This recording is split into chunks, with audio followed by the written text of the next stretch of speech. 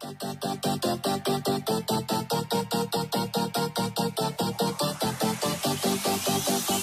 can go lower than I ever really thought she could. Face down. The top of your booty jiggling out your jeans, baby. Pull your pants up. I like it when I see you do it better than I've ever seen it done before. A lot of women drop it to the ground, but how low can you go? Lower than your mama's ever seen it in a lifetime. Never would have imagined it, not even in her right mind. Practice in